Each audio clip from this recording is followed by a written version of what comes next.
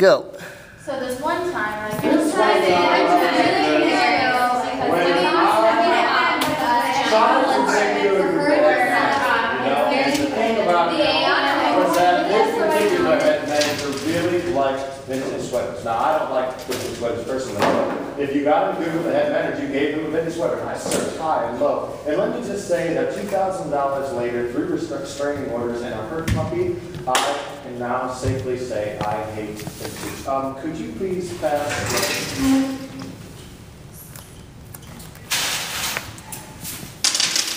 And it was really frustrating when they because I don't like when it's No, we were one time, you know, I came down to get out of the six sodas, two hot dogs, only one cotton candy, and the total came to like twenty dollars and twenty-five cents. And after paying eighty dollars to even get in for the three of us, I only had twenty dollars left.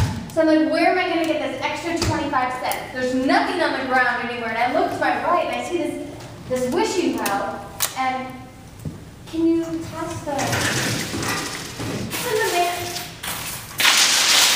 It's not something. Okay, well, then I mean, so, I made a choice, I closed my eyes, I got over to the wishing well, and I reached in, and I grabbed one leg, hold, harder, and it's like, this is I mean, I had money. I didn't want to use it to stand next to some smelly, middle-aged man and an old woman with a crying baby to go six blocks that I could easily walk if I wasn't wearing glasses. Could you get me those?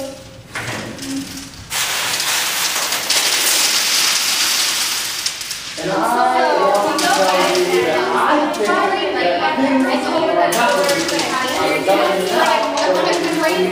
Like, no, this, uh, this is drink all of my purse, and everybody was on the floor, and there was this little, little, I was so upset. My hair was a mess, my outfit was a mess, I looked awful to begin with. And so I walked into the room my these very important colleagues were all waiting for me to bring them their food. And as soon as I walked in, I tripped and fell flat on my face. The drinks went flying up into the air, the food went flying all over the floor and the desk. And could somebody please pass me the...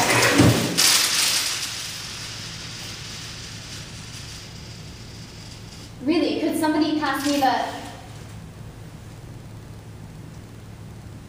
You know, I would really like to try the... Seriously, could somebody please pass me the...